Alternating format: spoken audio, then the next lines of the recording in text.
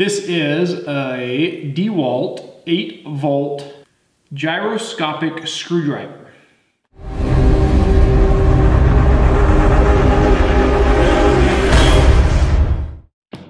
DCF 680N1. DeWalt gyroscopic screwdriver, 8 volt max lithium ion.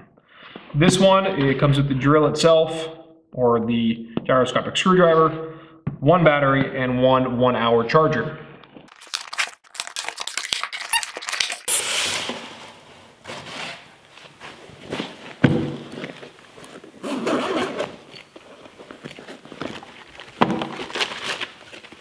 We've got our instructions. We all know what we do with those.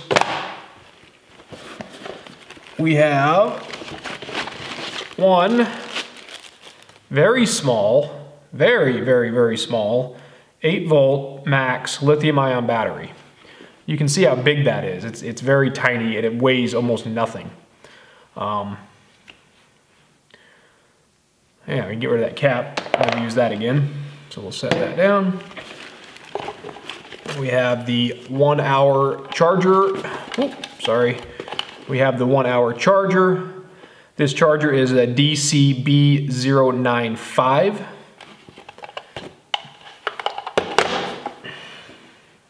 We'll jump back to the battery real quick. Um, the battery itself is DCB080. Um, my camera's not going to focus on that, but that's what it is. Then we have the gyroscopic screwdriver itself.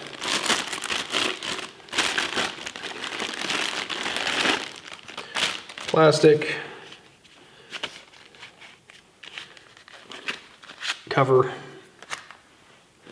So there's the screwdriver. There is a piece of cardboard in the bag. And this, see this right here? This is also in the bag.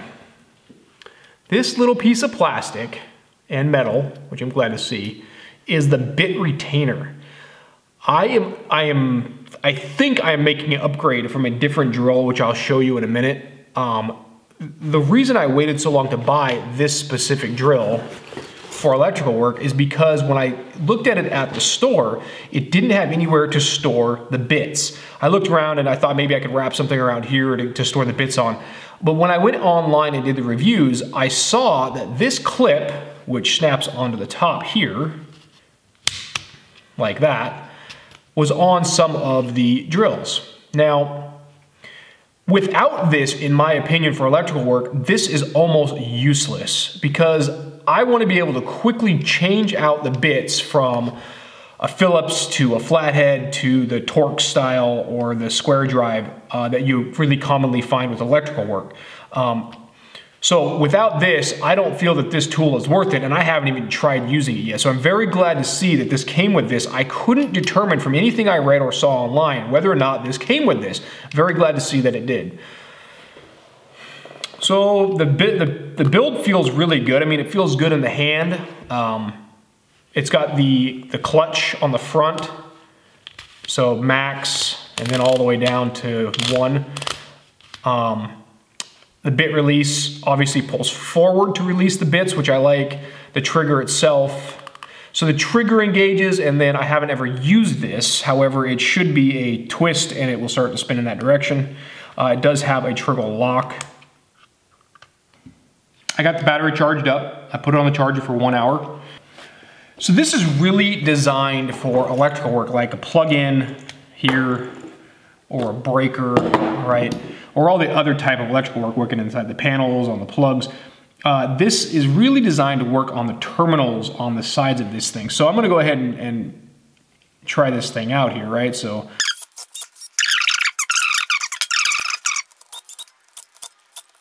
It seems to work really well, to be honest with you. I would, I'm, I'm very, very pleasantly surprised. Uh, the size is phenomenal. This is significantly smaller than the tool I have been using.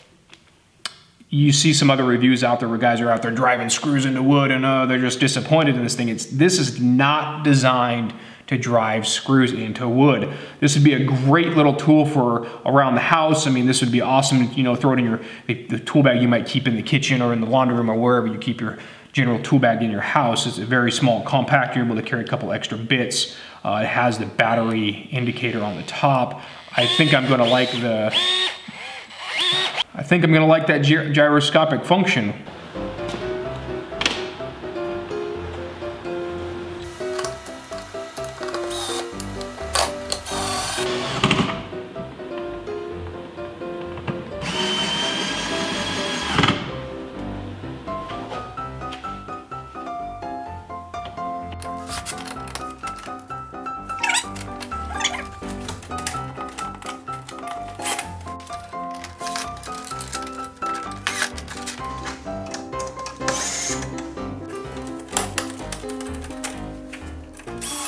This worked really well. I, I, had really high expectations for this and, and it met those expectations. Um, I can see that the pull and the twist takes a little bit to get used to, uh, but the reviews I read online made it seem like it would take a long time to get used to. And to be honest with you, I this is the very first time I've ever used it, and it was very, very easy to use. It seems to work pretty well. I'm very happy with the gyroscopic function. Um, the clutch seems to work pretty good. I've left it on max this whole time and, and it seems to have plenty of torque for uh, utilizing for electrical work. Um, once I put a couple dabs of WD-40 inside of the tip, the bits seem to be releasing perfectly each time. Um, no problems at all. I did knock the bit holder off of the top of the case of the drill a couple of times while I was using it. I think that a couple dabs of Gorilla Glue or Super Glue to hold that in place uh, will probably go a long way. We'll see.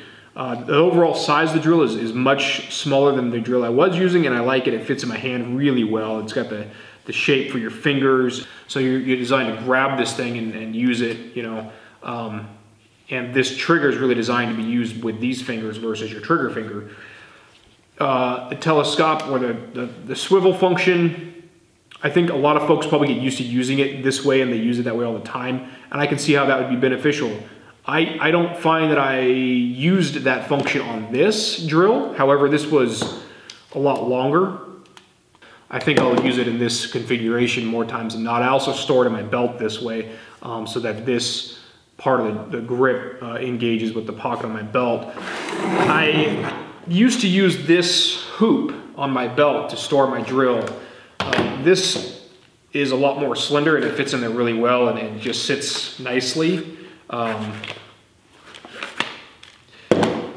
the downside to this is, is they put the bit holder on the top, which kind of creates this area where it engages on your pouch. So when you go to slide this thing in, it's not as smooth. I found that I, I, wasn't able to utilize the loop, the hammer loop, like I normally did with my uh, drill, my old one. Currently, I'm just storing it on the inside of the pouch, and it's small enough to, to fit in there perfectly.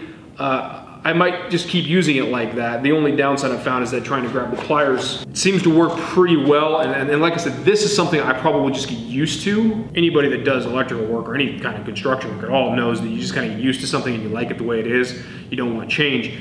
Uh, in this case, I find that switching to something lighter, smaller, more compact is worth the change uh, and worth the time to get adjusted to it. So I'm gonna keep using it, trying it out. But overall, I have to give it a thumbs up right now. I, I think it's I think it's well built. I think the idea of the gyroscopic function is pretty cool and it seems to work pretty well. It eliminates having to switch back from reverse to forward all the time. The size is really the benefit in my opinion. Uh, this one does have the clutch and the light. If you get the model, pay attention because there's certain models that only come in this configuration. It only is straight. It's not swivelable, does not have the clutch um, built in. So make sure you get the one that you really want. I, I suspect you'll want this one this was $79.99, I believe. Yes, $79.99 on Amazon, two-day shipping. I did buy two. This is uh, another one. It's going to be for a gift for someone. Let's talk about downsides real quick. Positioning the bits here is sort of a downfall. I realize that there's not much room down here anymore to reposition them. I don't have a better thought, to be honest, with where to position these. So this seems to be the only place, but it interferes with how I put it in my pouch. But I think I can work through that. I'm not a big fan of the battery thing. That's just my opinion. I don't, I don't see the point in it. The swivel function, for the way I use it, I don't, I don't think it's necessary. The fact that it doesn't swivel both ways, um, so it will not go, right, it won't go the other way, it only goes the one way. I understand why they do that. However, we have the technology these days. DeWalt has the technology to make this so that it will swivel 360. Um, probably would cost more, but I don't know. I suspect I'll get used to that fact that it swivels the one way. It's nice to have the clutch feature. I don't personally find that I use the clutch very much uh, on any drill, to be honest with you. And I've never really used it on the other drill that I am not going to be using for electrical work anymore. This will probably just end up in the house in my tool bag. Yeah, I really can't think of much bad about this thing, to be perfectly honest with you. Um, the sensitivity of the trigger and the tiny small lock switch, I'm not a big fan of this configuration. The, the sensitivity of the trigger, they should have put a little more spring, a little more stiffer spring detent in there. It feels nice in your hand, but when you put it in your pouch, I have I've found that it engaged a few different times, and there's no there's no easy way to in one hand to engage the lock because it's recessed inside the handle. You should have been able to do that one-handed, right? I mean, that's really what the professionals or people that do this stuff a lot really are looking for. This de this safety detent to stop the trigger from engaging should be able to be engaged with the same hand you're operating the drill with. Um, I realize that a lot of times they don't put that type of thought into it, but reality is that's how we all use the drill. So that, I think, should be better thought out, uh, positioned differently, or maybe a side lock like the forward reverse mechanism is on most drills up here maybe. Or rethink the trigger maybe, make the spring detent a little more stiff so that it doesn't engage when it's put into a tool bag. Overall, give it a thumbs up. Really happy with it. I'm not gonna go off and drive a bunch of screws into a piece of 2x4. It just doesn't, this is not what this tool is made for. Uh, so I'm not gonna try to review it in that capacity. I suspect that if in a pinch you needed to drive one or two screws with this because it was just super convenient because you had it in your hand, it would do it. I mean, there's videos online that show it doing it, but uh, the videos online show about after about seven or eight screws that it just battery just dies. This tool is made for uh, electrical type work, small screws, terminal screws, things where you're not putting a huge amount of torque uh, over the duration of the time the screw is being driven in, right? Or the or the uh, machine screw is really what this is all about, right? The machine screw takes very little effort to drive it in until it gets right to the point where it tightens up, and then this has plenty of torque to tighten it to the uh, required spec. I think that's about all I've got to say about this drill. Really happy with it overall. I hope you guys have enjoyed watching this. I hope you got something out of how I use this and, and, and my thoughts about it so far.